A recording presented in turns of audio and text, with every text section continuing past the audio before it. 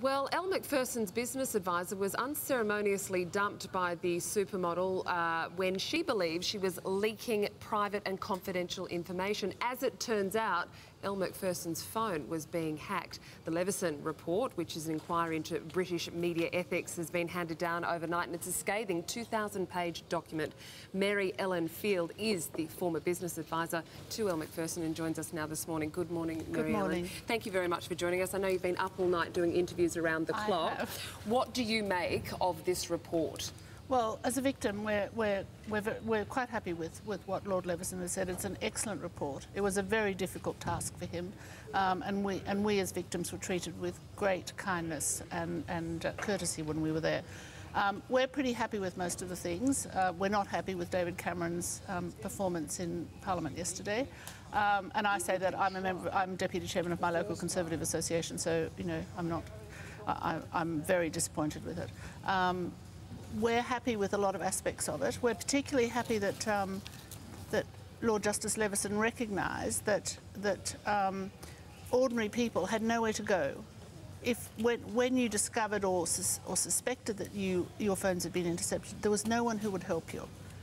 Um, and this applied also to um, famous people as well. In, at the Leveson inquiry earlier in the year, John Prescott, who had been the Deputy Prime Minister for 10 years, told me that I shouldn't feel bad because he'd only been Deputy Prime Minister and he'd written to all the people that I'd written to and he had not received a response either. This will hopefully give people who are affected an effective method, not using lawyers, to, to, to get some sort of um, good name, justice for what's happened to them. Well, and hopefully it doesn't happen again. But if it does, Yes. there's an infrastructure there for people. Yes. Can you tell me about the time when this was happening, when you were working with and for Elle MacPherson? Yes, in, it's seven years ago, last Saturday, when I was out of the blue accused of speaking to journalists without, um, without um, Elle's, Elle's permission, and that I had done it. I wouldn't have done it normally, she said, but I had done it because I was an alcoholic. And I've still never had a, an, an explanation about, you know, why that accusation was made.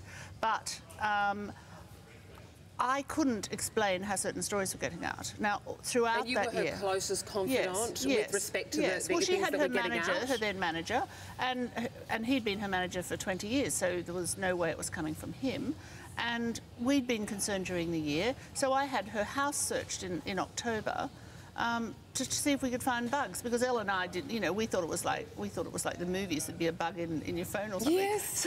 So, so or in, uh, behind a picture. So we we had a man. I stayed there all day, and he went through the house. He couldn't. He went through the cars. He couldn't find anything. And I said, oh, well, you maybe you better get pay-as-you-go phones, you know, because then they won't know the number. Yes. But, But as a it turned hassle, out, isn't it? Yeah, yeah, well, it is a hassle. But we didn't, when we found out, it was too late for me because I'd been fired from fired by Elle, so I was, she was no longer my client. And then three months later, I was fired by my firm for losing the client.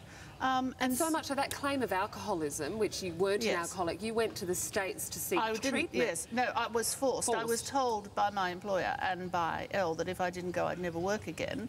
And she said that I, I, I drank to cover up the guilt of having a disabled child. I was just speechless. You know, I just thought they were having a bad day and they'd get over it. But I was for. I did. I, had no choice. I know it's difficult for people to understand, but you know.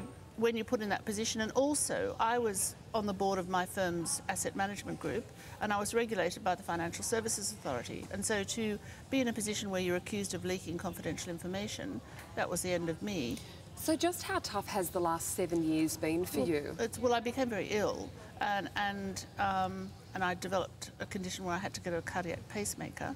But then, um, As a direct result, do you think, from the stress associated well, with oh, what well, happened? I've never been sick before. I was a marathon runner before, so. But but the, the interesting thing was that, that when I, I first gave an interview to the Guardian in July 2009, and then the New York Times asked me to help them with their story that they were preparing in 2010. I kept writing to the Crown Prosecution and the Service and the police. Nobody ever responded. They finally responded in January last year. I still didn't have lawyers. And the only people who ever helped, it was journalists who helped me. I would never, I would not be in a position to, to get any sort of justice were it not for the journalists who helped me.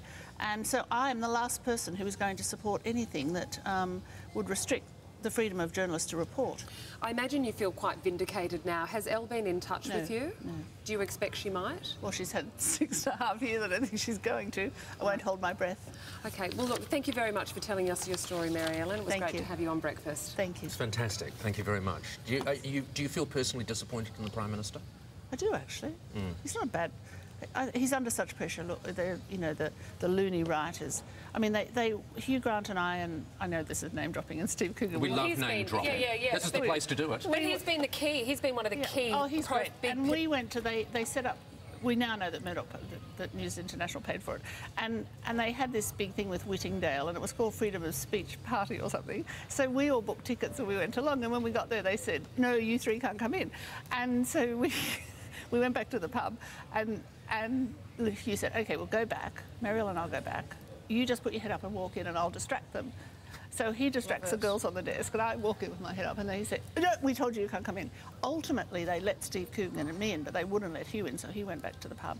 And then John Humphrys was chairing it hmm. from the Today Show, and he realised it was a setup about 30 minutes into it, and he said, "I don't, you know, I want someone else's opinion." So they, he said, "Is anyone else going to talk for the other side?" So I put my hand up, and they gave me a mic, and they weren't happy. Lord Black was there, and all this, Oh, and then Mail. They had about 20 people from the Mail there. Oh, brilliant. You see, So- there's vindication there. Yeah. Well, the best thing is, is um, Leveson gave me my reputation, but I'm chairman of a company here now. I've, I, I'm here one month. I started. Don't take your mic off. You're still talking. We're still on Oh, telly. shit. oh, we're not. we are. You Um, almost said shit on air. I, I believe she As did. a matter of fact, I think it just slipped out. Um, we're not it's on air, are we? Absolute, yes, we are. It's been, but no, fantastic. It doesn't matter. Believe me, it doesn't matter. Um, thank you so much for joining us this morning. Thank you. Have a have a brilliant day. All right.